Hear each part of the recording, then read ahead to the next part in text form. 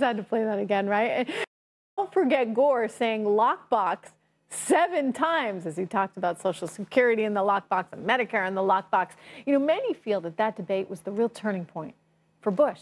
Join me right now with his thoughts on what needs to happen tonight if Trump's going to actually win this thing. Ed Rollins, the thank you. I just love that moment where he crosses oh, over. Was, and Bush looks and, at him Bush like kind of looked at him like acknowledgement. Yes, yes. I mean, so what? What's the trick tonight for both candidates as you see it? Uh, she can't gone out and bombarded Reagan as the mad bomber and all the rest of. Even though he'd been governor of California for eight years, he won't be intimidated by her.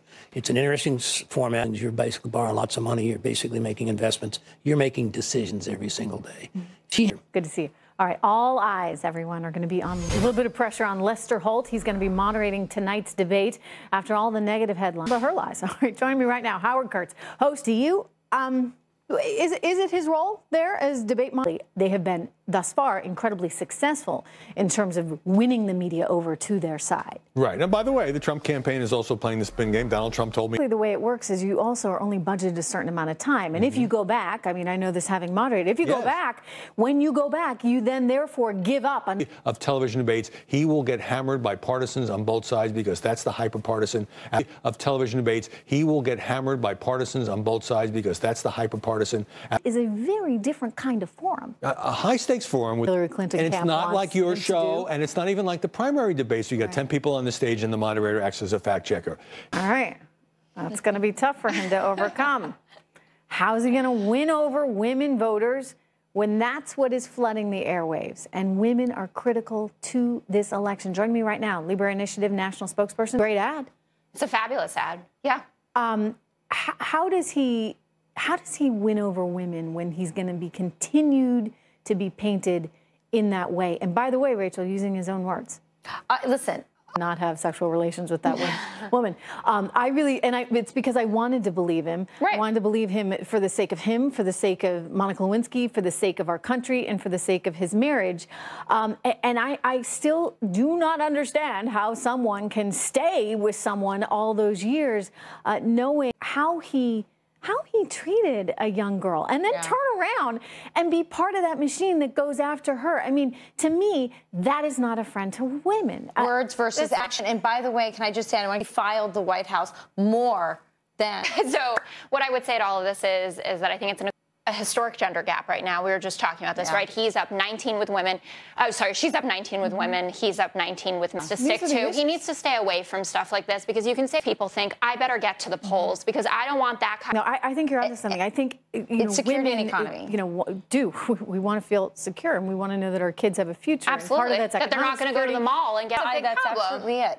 And and and and and the $2,800 last worst. year. Mm-hmm. We also know that two thirds of people on minimum wage are women, and a lot of them are supporting their households on their own now. Now, so he's, are, he's actually come up with an interesting and innovative plan to combat that, which actually a lot of conservatives might take issue with because it also includes a credit for a stay-at-home mom. Exactly. Rachel, by the way, I don't know if everybody knows this, she has, and just being yes. uh, in Cleveland yeah. at the convention because you were there with your husband, right. and uh, she's got eight kids. So you, would get quite a credit.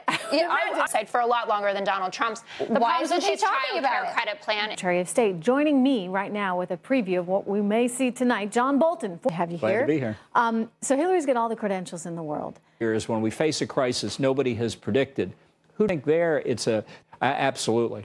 Mm-hmm. Provided well, then the next. He's, he's uh, disciplined. The next 88 minutes. I was there, and the crowd was so angry and so upset, and they booed him, and the cameras shot uh, Donald Trump off to the side, walking up onto stage, almost as though to say to the viewers, it's okay, it's okay, and to the audience, it's okay. Anyway, now the Texas senator says he will vote for Donald Trump. But why is he doing it now? And what does Trump need to say tonight to win over some of those never Trump Republicans like Ted Cruz? Join me right now with their thoughts. National Review. People was one of the most memorable moments of either convention. And then.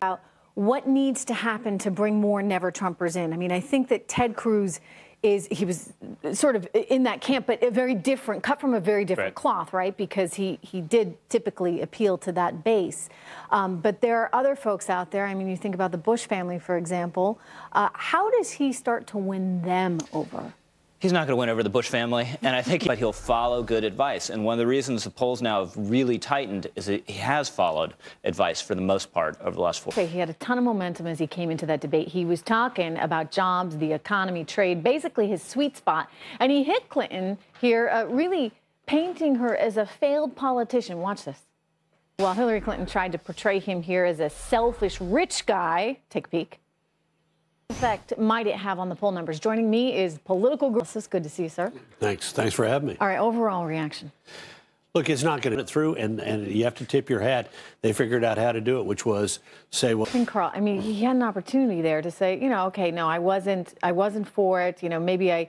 Yeah. He, he could have explained look, of that way, but then you go back to, you know, what's that fine? We're going to disagree about it, but I will tell you this: I was against the war a heck of a lot uh, earlier than she was. Missed opportunity for yeah. him, and he, he got led down this uh, meandering path. Right. So the question is, how much are viewers affected by that? I think if you're Donald, not to diminish how important that can be at the end of this, but it's the whole context of information. You know, it was pretty visible. His body language was bad at the beginning. You'll notice he was using open hand gestures. Do these things, but yeah. uh, you know, hey, there's room for improvement. Yeah. Well, I, look, I, I, had a candidate who lost the first debate, and his moment. We just replayed it the other day. Who exactly. could forget it? And yeah. he handled it so well. Yeah. Carl, good to see you. Thank Great. you so Thanks, much. All right. For more on all of this, that was Donald Trump and Hillary Clinton sparring over who has the better plan to defeat ISIS. Trump even blaming Hillary Clinton and President Obama for the rise of ISIS. In fact, I think he said uh, basically you know, they, they've been rising sort of your whole political career. Uh, so, who is the best candidate right now to keep us safe? For more, I'm joined by Fox News national security analyst KT. Actually, did say that. He said, you know, we shouldn't have gone in and we shouldn't have gotten out when we did. Yeah, well. So, I think she's got a. Has the support, I mean, you mentioned this last night, of a number of generals. Yes. And military personnel.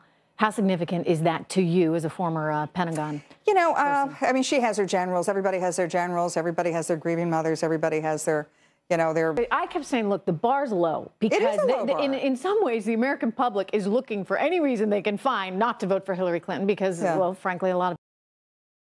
No. Well, stick to his points. I think last night, or radical Islamists had us on the run. What does Donald Trump need to do? I think he needs a penalty. If you do, we'll start mucking around with yours. All right. KT, some good advice. Hope he's listening. Thanks. Thanks. At the debate, Donald Trump reached out to Benghazi survivors, as well as to my next guest, Gold Star parents Karen and Billy Vaughn. Their son, Navy. Thank you. Thank you, Trish. So you were there in the audience. He made sure everybody, yeah, stayed. And so a bit more reserved than it did. some of these it others. Did. Um, Billy, you know, people have uh, been critical of him today. I think that a lot of his supporters had very high hopes going into this, and they just wanted him to walk away with the whole thing. Booth, uh, you know, I mean, let me say it like this. Quince. Absolutely, absolutely not, Mr. Trump. Uh, you know. Um, so, what is it that he is, is advocating that really gets you excited right now in terms of the, the future and the direction of this country, Karen? Strength. That's that yeah. is the key. It's Like uh, Mrs. Clinton and, and, needs retraining. That's what she and the State Department and Ms. Well, it's, it's hard. Well, I appreciate you being here. Just one week from today, vice presidential candidates Mike Pence and Tim Kaine. Uh, Mike Pence is no Sarah Palin, though, right? I mean, yeah, Sarah Palin sure. was part of what dictated that tune in. Uh, she was such a big personality in and of herself. Uh, what do you think? I mean, not at my age, but but I mean, they are older. We know how right. actually. We're going to take a quick break. I'll be back after this.